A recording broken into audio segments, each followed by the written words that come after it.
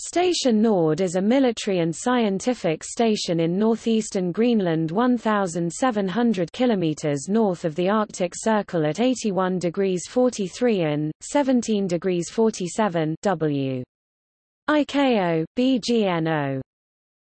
It is about 924 kilometers (574 miles) from the geographic North Pole on Princess Ingeborg Halvö, Princess Ingeborg Peninsula in northern Kronprins Christian Land, making it the second northernmost permanent settlement and base of the Northeast Greenland National Park and of Greenland as a whole. Two stations in Peary Land further north, Brønlundhus and Kap Harald Moltke, are not permanently occupied.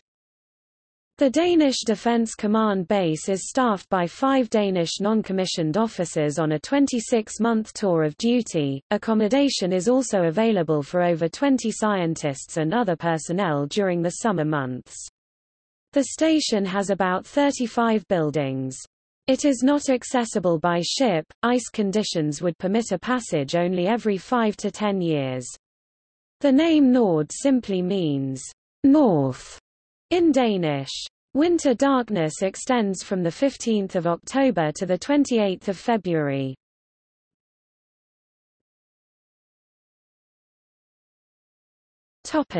History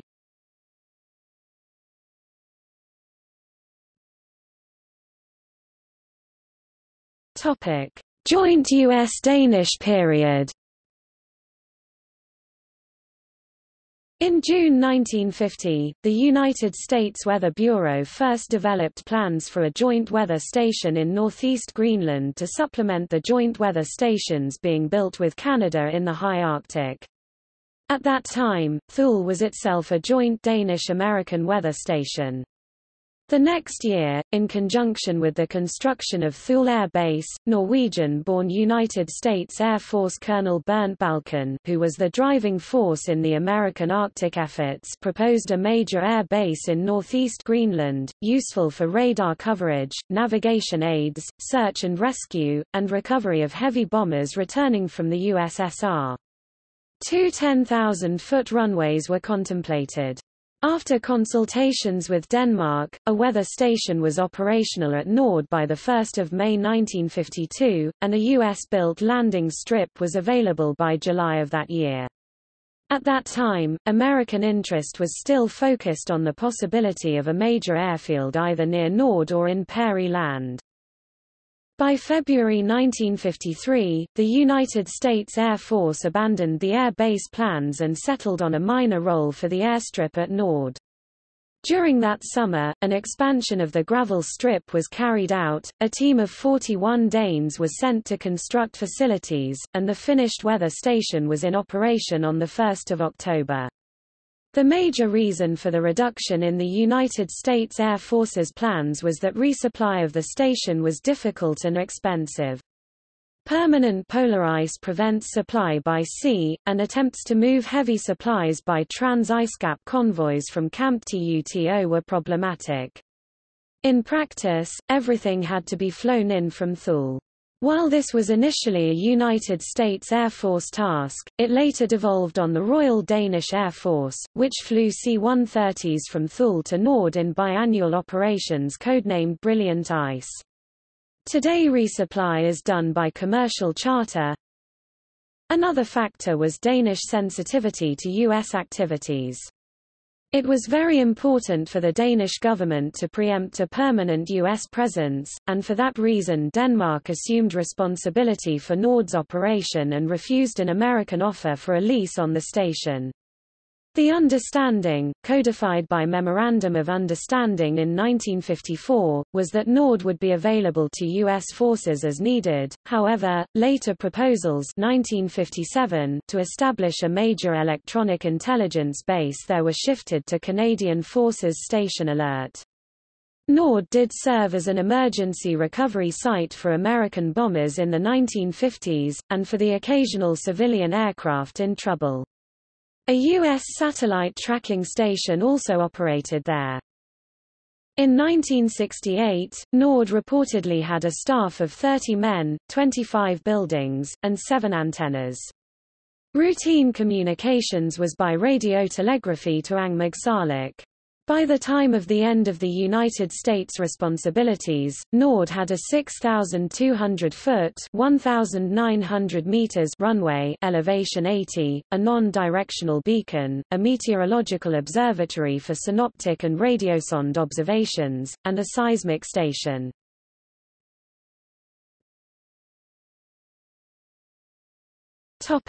Danish period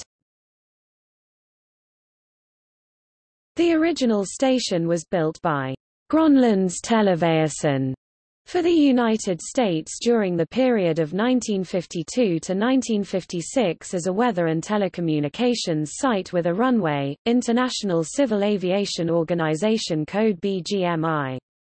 From the perspective of Denmark, Nord was meteorologically needed as the only weather station within hundreds of miles, and also as a resupply base for the Sirius Patrol, a dog sledge patrol that replaced the improvised wartime sledge patrol in northeast Greenland. The construction of Station Nord was undertaken by Danish construction companies and financed by the Danish government, with the United States contributing to the transportation of equipment from the Thule Air Base and paying subsidies to maintain the operation of the station. Some of the equipment originally supplied by the United States Air Force is still in use. Until its closure in 1972, it was run as a civilian base by the Greenland Technical Organization.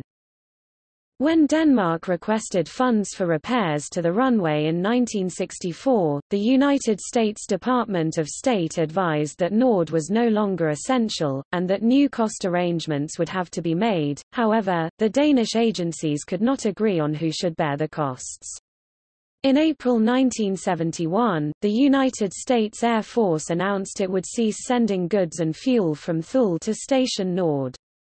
Without support from the United States, the government of Denmark decided to close the station as the relevant agencies considered it expensive to run. After the closure in late June 1972, many scientists and military officers protested and demanded that it be reopened.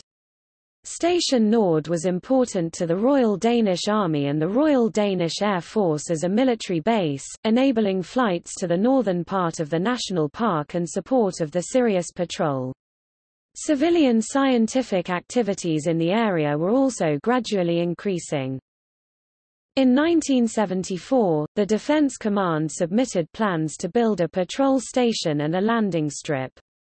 Reconnaissance began in March 1974 by the Air Force and helicopters from Grønlandsfly, and cabins for the sledge patrol began to be built and patrol depots restocked. With the establishment of a new weather station and the base now rebuilt, the Danish Defence Command reopened Nord in August 1975. Nord was reopened as a military base for a trial period. The station was recognized as important as a gateway to otherwise inaccessible portions of northern Greenland and was made permanent. Today the operation of the station is under the responsibility of the Joint Arctic Command Arktisk Kommando, but is manned on a daily basis with personnel from the three services and five volunteers are stationed there 26 months at a time with a three to five weeks leave period in the middle. The landing strip is kept open for approximately 300 days a year and is maintained with two large snow blowers and two snow plows.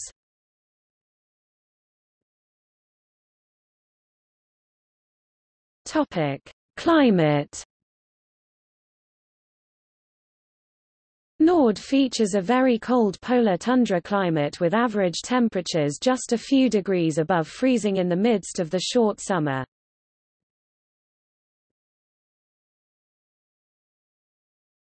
Topic. See also.